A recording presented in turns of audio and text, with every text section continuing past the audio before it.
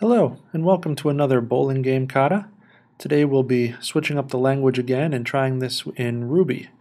Now I've written very close to zero Ruby code in my career, so we'll try to keep this syntactically correct as well as idiomatically correct, although no promises on that one because I've been told that my Ruby code looks like it was written by a C-sharp developer, which is probably a fair statement.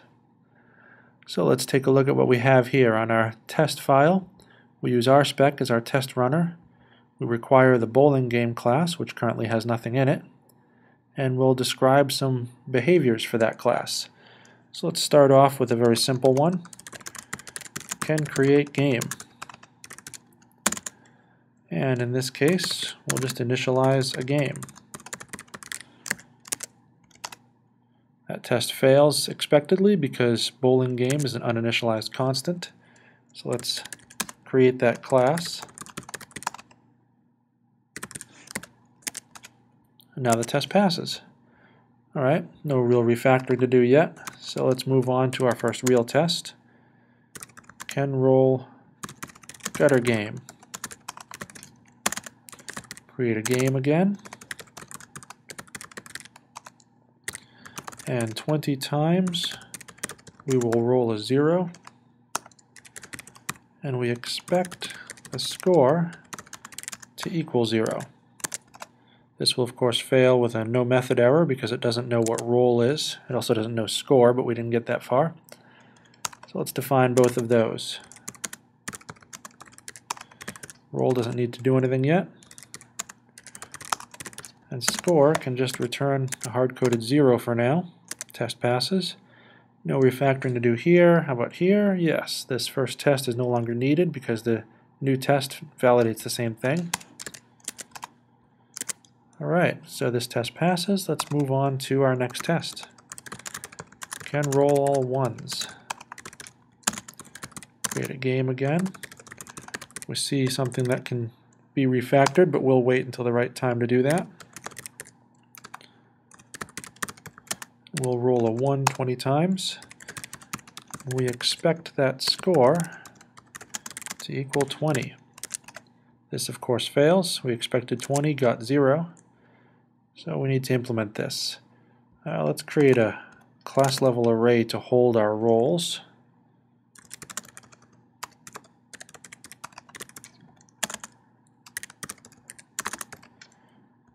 And let's push pins onto that. And here, let's see, we need to sum that array. I bet there's a really clean and neat way to do that in Ruby, but I don't know it, so I'll just do that manually. We'll need an aggregate value, and we'll need an indexer. And then 20 times, we will uh, we will add to the aggregate value.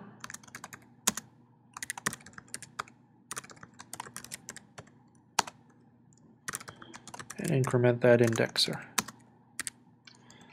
Then we will just return the result, the aggregate value. Now, I know that this is this would definitely fail if we ever gave it a partially initialized game, or a partially completed game rather, but we don't have a test for that. So currently this passes. All right. Now we can do some refactoring here. Let's say uh, before we want to create a class level game. Now throughout here, we can just use that one. And so before is of course our bootstrapper that runs before each test. Still passes. Uh, we could probably refactor this, but I think the syntax is clean enough in Ruby that we just leave it the way it is. So let's move on to our next test. Can roll a spare. Now we're going to say roll 5, roll 5 again, roll 3, and then 17 times we'll roll 0. We expect that score to equal let's see, 10 plus 3 plus another uh, an extra 3 should be 16. And this will fail because we got 13 instead of 16. Let's see. Well, we want to refactor this a little bit. We want to loop through frame by frame instead of uh, roll by roll, since spares and strikes are frame level concepts. So we need to back this test out, get back to a green state, and do a little refactoring here. So 10 times, we are going to grab the entire frame,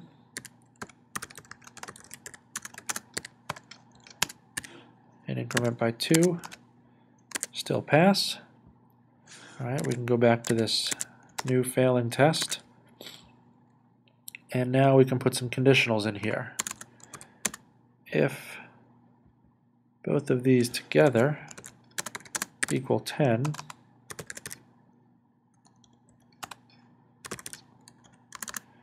then the result also gets that spare roll.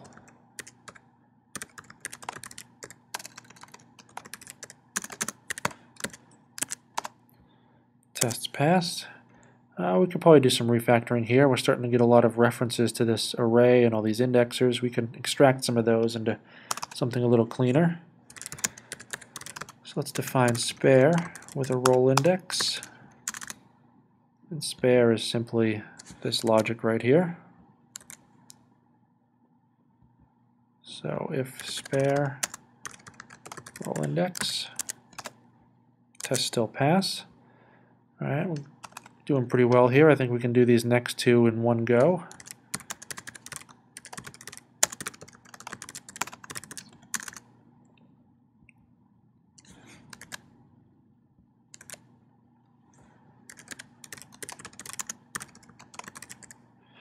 We'll call this other one, I think previously we called it normal score. I think this time I'm going to call it frame score.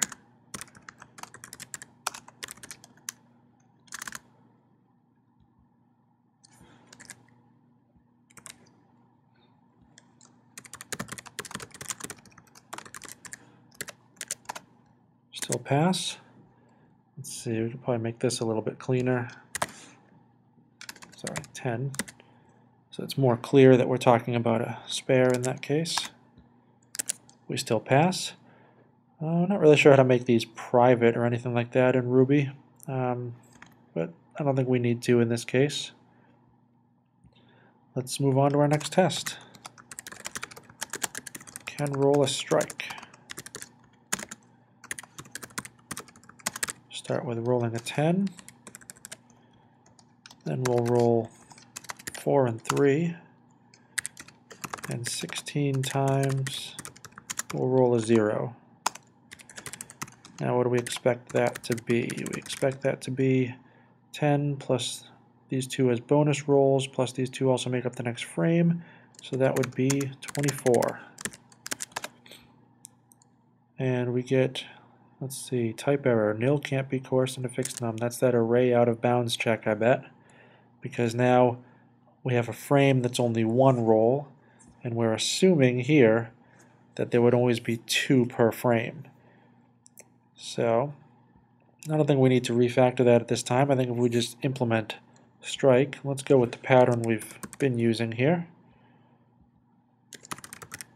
Strike would simply be if that one roll is a 10. And then strike score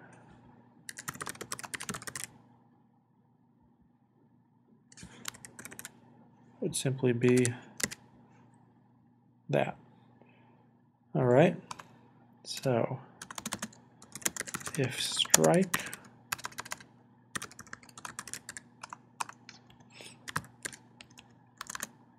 then result plus equals oops, strike score, roll index, and roll index should only increment by 1, which means this needs to be moved in here.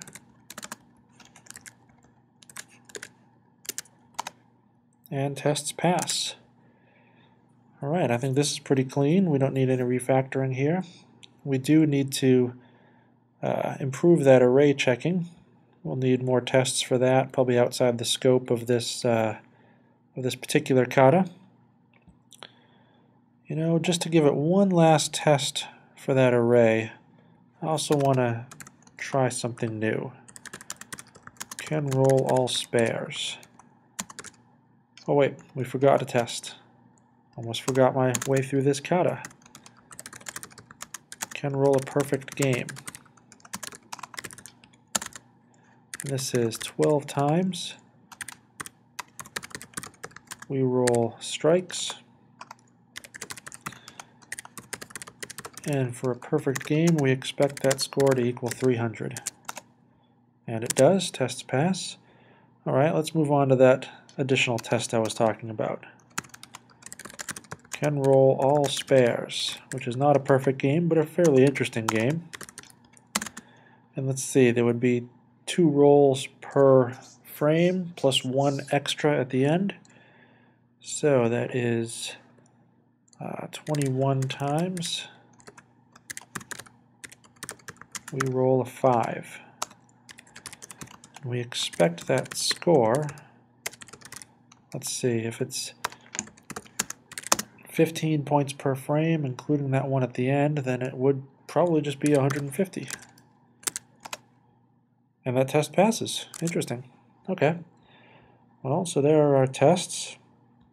Nothing to refactor there. There's our class. Nothing to refactor there. So that's pretty much it for the bowling game kata in Ruby. Um, trying to think of anything else I can do here to make this a little better, but uh, I think getting into that array checking is definitely outside the scope of this kata, but maybe we'll do that another time. Thanks for watching.